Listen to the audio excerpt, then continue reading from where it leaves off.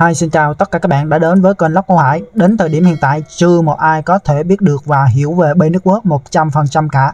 Chỉ có Bco Team mới hiểu được điều đó. Vì vậy, khi mà một cái vấn đề nào đó chưa rõ ràng, thì tất nhiên nó sẽ tạo nên cái sự tranh cãi đó là một cái việc đương nhiên. Cụ thể ở đây là sự tranh cãi giữa một bên ủng hộ Bi và một bên anti Bi.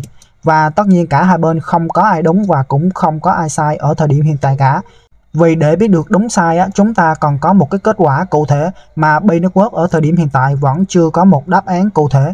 Vì vậy trong video này tôi và các bạn sẽ đưa ra những cái phân tích về Bay để từ đó chúng ta phần nào hiểu về cái dự án Bay Network hơn. Từ đó chúng ta có thể tự mình đưa ra những cái nhận định phân tích đánh giá về Bay Network cho riêng mình.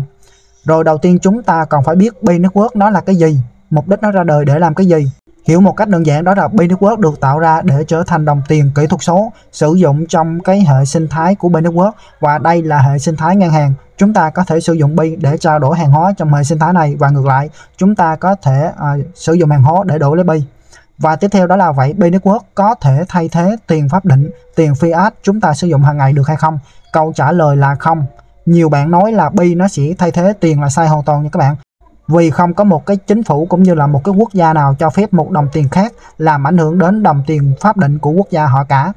Và chúng ta có thể hiểu một cách đơn giản đó là Bi sẽ được lưu thông trong hệ sinh thái của Bi Network ở thời điểm hiện tại. Còn sau này khi mà Bi Network được nhiều người chấp nhận, thậm chí là một quốc gia nào đó chấp nhận chẳng hạn, thì mình không biết được vì đó là tương lai. Giống như là Bitcoin chẳng hạn, cũng đã có một số quốc gia trước đó đã chấp nhận nó như là một cái loại tiền tệ à, lưu thông hàng ngày luôn các bạn. Biết đâu được thì à, sau này Bi nó cũng sẽ được như vậy thì sao? Còn ở thời điểm hiện tại thì Bi chỉ được sử dụng trong hệ sinh thái của Bi quốc mà thôi.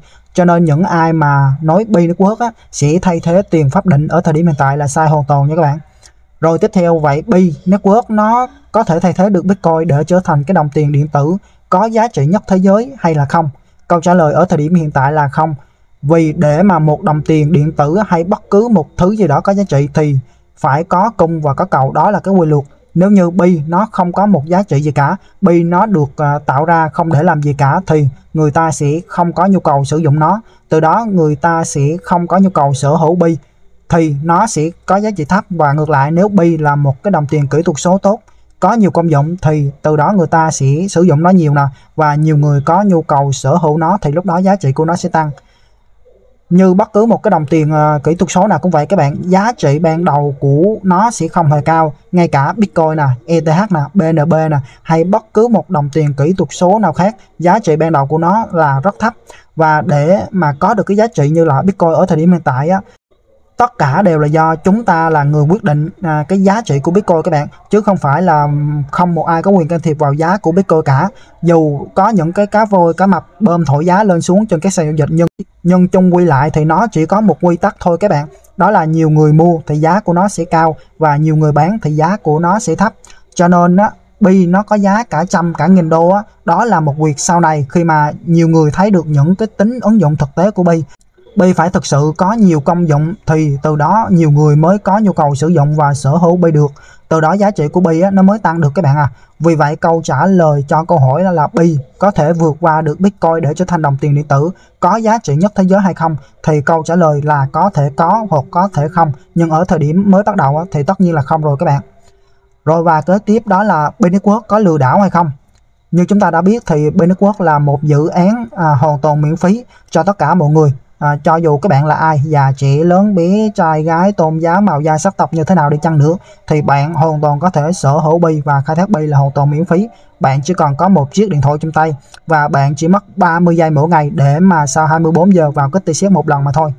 Vậy bi network có lừa đảo hay không? Câu trả lời ở thời điểm hiện tại là không.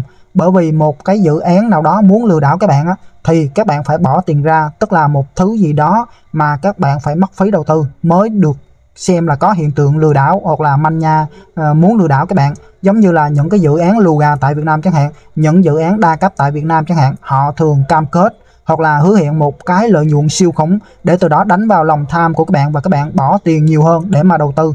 Và từ đó các bạn sẽ bị lừa và mất tiền. Còn Bay Network á thì các bạn chỉ mất 30 giây mỗi ngày thôi. Nếu mà lừa thì lừa các bạn 30 giây mỗi ngày thôi. Thì ờ, và tất cả những thứ còn lại thì không tốn một cái chi phí gì hết các bạn. À quên. Mình quên một cái điểm này nha các bạn ha, là mất phí đó là mất phí. À, gửi tin nhắn hai mình nhớ là hai ba nghìn đồng gì đó để mà gửi tin nhắn xác nhận số điện thoại của các bạn mà thôi ngồi ra không mất phí gì nữa. Chỉ mất 30 giây và hai ba nghìn đồng để mà gửi tin nhắn thôi nha các bạn. Và cho nên những người nào mà nói với các bạn á, đào bi à, đưa tiền cho họ để mà à, các bạn có thể đào bi á, thì đó là lừa đảo nha các bạn. Hoàn toàn miễn phí nha các bạn. Rồi và kế tiếp đó là bi network đánh cắp thông tin của người dùng. Thực tế thì tất cả các app hiện tại, tất cả các dịch vụ trên Internet như là dịch vụ tài chính, ngân hàng hoặc là trả góp, thậm chí là à, các app thông thường như là mạng xã hội, Zalo, Facebook, vân vân và vân vân. Khi mà các bạn sử dụng, bạn đều phải cung cấp thông tin cho những cái ứng dụng này. Cho nên cái thực tế mà nói, thông tin của các bạn không còn gì nữa đâu mà các bạn sợ mất. Cho nên á, cái quy trình KIC của Binetwork cũng là một cái việc giống như những cái ứng dụng khác mà thôi. Và bạn nào á, mà sợ bị lộ thông tin cá nhân ở thời điểm hiện tại thì các bạn chỉ còn một cách duy nhất thôi các bạn. Đó là các bạn không nên tham gia vào môi trường Internet nữa. Và tiếp theo vậy tóm lại là Bi nó có giá trị hay là không? Thực chất á, một thứ gì đó có giá trị khi mà các bạn xem nó là có giá trị giống như là tiền chẳng hạn. Ban đầu à, thì đâu ai có sử dụng tiền đâu các bạn. Và khi nhiều người sử dụng tiền và có thể sử dụng tiền để mà trao đổi hàng hóa nè thì nó sẽ có giá trị. Thực chất á, ban đầu người ta không có sử dụng tiền như ở thời điểm hiện tại đâu các bạn mà người ta sử dụng những cái vỏ sò nhà rồi à, những cái hòn đá này các bạn. Và người ta sử dụng vỏ sò đó để mà và nhiều người chấp nhận nó trong một cái cộng đồng nào đó trong một cái buôn làng hoặc là trong một cái à, bộ tộc nào đó thì tự nhiên cái vỏ sò đó nó có giá trị thôi các bạn. Hay là một viên kim cương chẳng hạn thực chất á, lúc ban đầu á, làm gì có ai biết đến viên kim cương nó có giá trị đâu. Và kim cương á, không thể nào ăn được cho nên nó không có giá trị về mặt ăn uống nha các bạn. Nhưng theo thời gian á, nhờ cái quá trình mà marketing quá là hay các bạn. Và cái sự khan hiếm cũng như là cái sự khó khai thác của nó mà nhiều người lại muốn sở hữu viên kim cương đó. Nhiều người muốn mua nó thì tự nhiên nó sẽ có giá trị thôi các bạn. Đó là cái quy luật cung cầu các bạn. Cho nên á cái cốt lõi ở đây á bạn tin nó có giá trị người khác cũng tin nó có giá trị và nhiều người muốn sở hữu nó thì nó sẽ có giá trị mà thôi. Đơn giản là như vậy thôi các bạn. Nếu mà bạn à, nào đã từng mà chơi game chẳng hạn mình sẽ có một ví dụ cụ thể nha. Bạn chơi game à, ví dụ như là tự game võ lâm truyền kỳ chẳng hạn. Nhiều người à, có thể bỏ ra một số tiền lớn để mua một cái vật phẩm trong game. Ví dụ như là các bạn à, đi trên quái và các bạn à, đánh được một cái cây kiếm chẳng hạn thậm chí nhiều người, đó là cái cái cây kiếm đó là một cái vật ảo trong game thôi các bạn, mà nhiều người vẫn có thể sẵn sàng bỏ tiền ra để mà sở hữu cây kiếm đó của các bạn. Thì tự nhiên là cái đó là nó có giá trị thôi các bạn. Và mặc dù cái cây đi, kiếm đó là một cây kiếm ảo trong game, nhưng có người sở hữu nó, có người có nhu cầu muốn mua nó là nó sẽ có giá trị. Vậy ta có thể thấy một thứ gì đó có giá trị khi mà chúng ta coi nó là có giá trị và có người muốn sở hữu nó. Do đó bên nước quốc cũng vậy các bạn à, tôi tin nó có giá trị còn à, bạn không tin nó có giá trị thì không thể nào mà chúng ta tiến hành giao dịch được. Ngược lại tôi tin nó có giá trị và bạn cũng tin nó có giá trị thì bạn sẵn sàng đem cái hàng hóa của các bạn ra để mà đổi lấy bi. Còn tôi sẵn sàng đem bi của tôi ra để đổi lấy hàng hóa của các bạn. Vậy nó sẽ tạo ra cái giá trị giao dịch các bạn. Mình chưa nói đến à, là bi Network vương tầm thế giới này nọ 8 tỷ 9 tỷ người nha các bạn. Nhưng à, với 45 triệu người tiên phong trong cộng đồng bi Network thôi các bạn à, đây là một cộng đồng được xem là lớn nhất trong thế giới tiền mã hóa ở thời điểm hiện tại luôn. Thì chỉ cần 45 triệu người tiên phong này cùng nhau tham gia vào cái hệ sinh thái của Binance Network ví dụ như là trang uh, à, Bitcoin chẳng hạn thì nó sẽ cũng đủ có giá trị rồi các bạn. Còn cái giá trị B nó cao hay thấp á, thì à, tùy thuộc vào cái nhu cầu của thị trường và tùy thuộc vào cái công dụng của Binance Network thực sự có tốt hay không. Có nhiều công dụng hay là đáp ứng hầu hết các yêu cầu của người dùng hay không như là tính tiện ích nè tốc độ thanh toán nhanh nè vân vân thì à, sẽ có nhiều người sử dụng bi để giao dịch nè.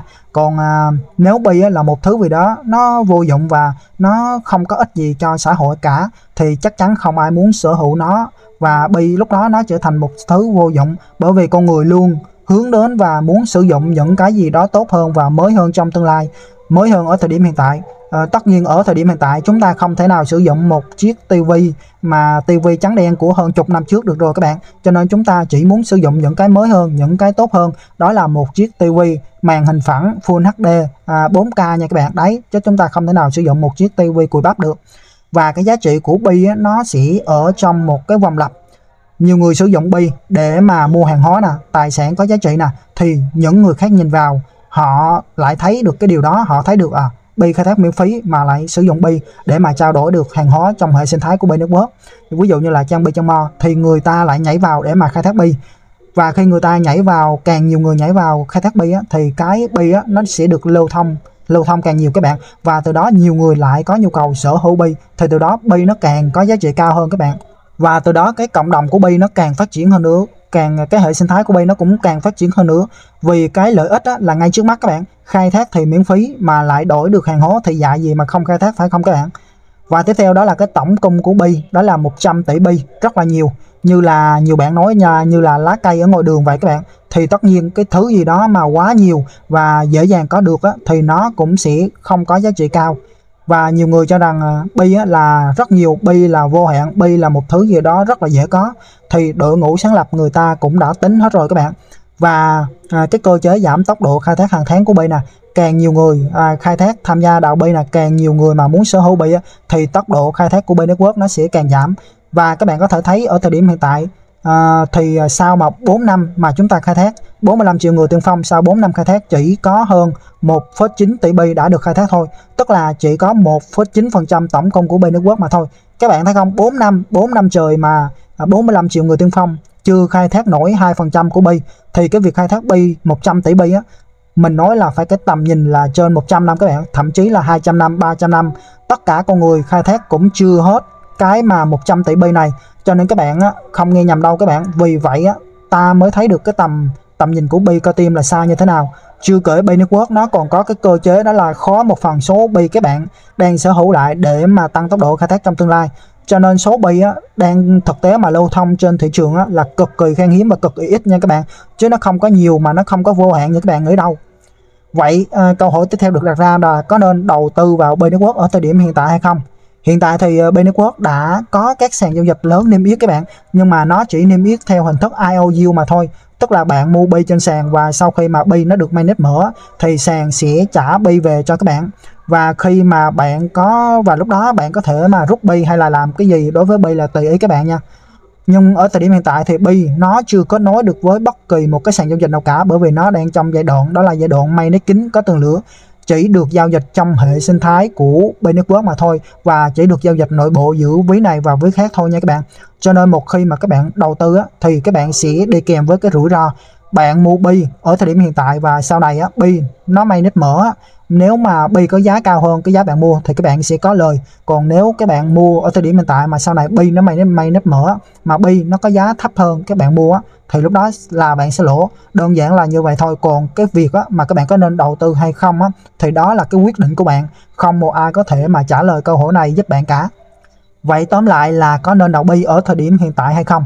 Nếu bạn tin bi là một thứ gì đó có giá trị trong tương lai vì những cái tiện ích cũng như là những cái công dụng của nó trong tương lai thì bạn hoàn toàn có thể thử vận may của mình còn nếu các bạn không tin bi là một thứ gì đó có giá trị trong tương lai bi là một thứ gì đó mà rác rưởi vô dụng vô nghĩa thì bạn không nên đầu bi đó là sự lựa chọn của mỗi cá nhân mình không thể nào bắt các bạn ăn một món ăn mà các bạn không thích ăn được cũng như là bắt các bạn thích một con người mà các bạn không hề thích nên các bạn thích bi thì các bạn có thể khai thác còn nếu các bạn không thích bi thì thôi đơn giản là như vậy rồi và các bạn nào còn có cái ý kiến gì hay về bi các bạn có thể để lại một bình luận bên dưới phần bình luận nha Video chia sẻ của mình đến đây đã kết thúc và các bạn có thể nhấn nút đăng ký và quả chuông bên cạnh để đón xem những video tiếp theo. Xin chào và hẹn gặp lại tất cả các bạn.